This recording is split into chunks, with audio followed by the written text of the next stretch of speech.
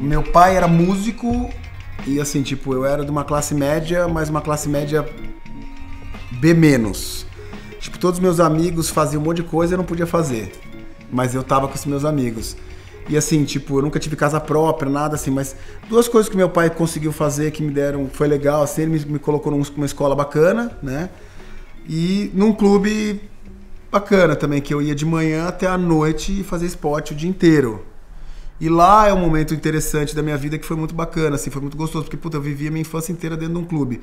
Pode parecer meio ruim, o lado da bolha, mas puta, eu fiz muitos amigos lá. Foi muito bacana.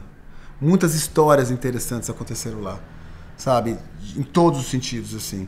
Então, para um moleque que, tipo, né, São Paulo é meio apartamento, você fica lá no apartamento com cara de verde, de musgo, olhando uma televisão e comendo.